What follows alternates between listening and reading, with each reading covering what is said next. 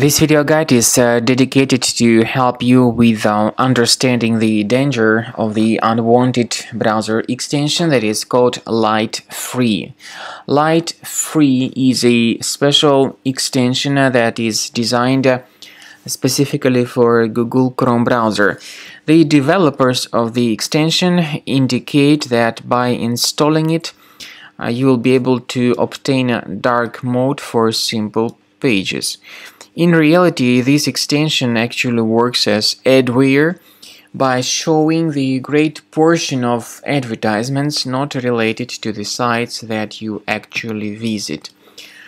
In case uh, this light-free extension was mistakenly somehow added to the Google Chrome browser, you should undertake the measures and uh, remove it immediately. So, um, I'm installing this extension for the demonstration purposes in order to let you know how to get rid of it. So access the menu, more tools, then extensions. If you find any extensions like that, disable them and remove them completely. In order to make sure that your computer is free of other, possibly hidden threats, I would recommend researching it with Combo Cleaner antivirus. Please get it on the official page combocleaner.com. Use this green download button, install the software and start researching your system with its help.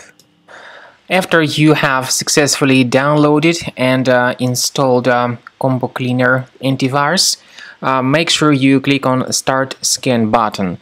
Uh, initially the program is in the trial mode so only the quick uh, scan option uh, is uh, so far available uh, in the trial mode.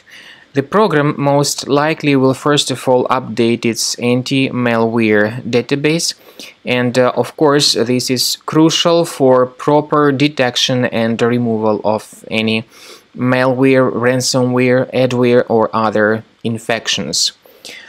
While the scanning by Combo Cleaner is taking place, uh, please pay attention to several features in Combo Cleaner such as anti-ransomware.